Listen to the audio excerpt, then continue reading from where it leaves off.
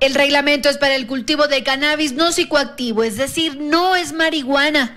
Con este documento se establecen las reglas para que sea una actividad formal.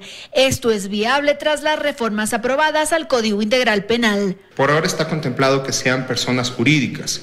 Adicionar los requisitos que deben tener referente a lo que es solicitud de fondos, su conocimiento técnico y otras que van vinculadas para cada tipo de licencia. Se establecen siete tipos de licencias. Estas son importación y comercialización de semillas, producción de semillas, producción de cannabis no psicoactivo o cáñamo, producción de cáñamo industrial, licencia para procesar derivados de cannabis no psicoactivo, fitomejoramiento y comercialización de biomasa.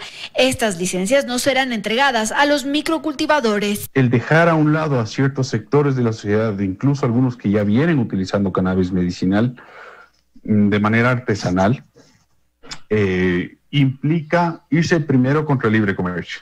Aquellas personas que no tienen licencia y van a comercializar tienen sanciones alrededor de los 40 mil dólares. Y es que el reglamento, como está planteado, solicita un hectareaje mínimo para el cultivo. En el caso de cannabis no psicoactivo bajo invernadero, de dos hectáreas y para cannabis eh, a cielo abierto de 5 hectáreas. Un factor que es muy importante es que esto se tiene que completar en un plan de cultivo a 5 años. Este documento será emitido bajo la figura de un acuerdo ministerial y este deberá coordinarse con otras instituciones. Les preocupa cómo será el control, por ejemplo, por parte de la Policía Nacional. Este aquí pedía algo que es impráctico, que es la custodia policial de la carga, tanto de derivados como de flor. No veo el, sentido cuando hay tecnología ya que te permite hacer la trazabilidad. Ahora, la Agencia de Regulación y Control trabaja en el reglamento para la distribución y consumo.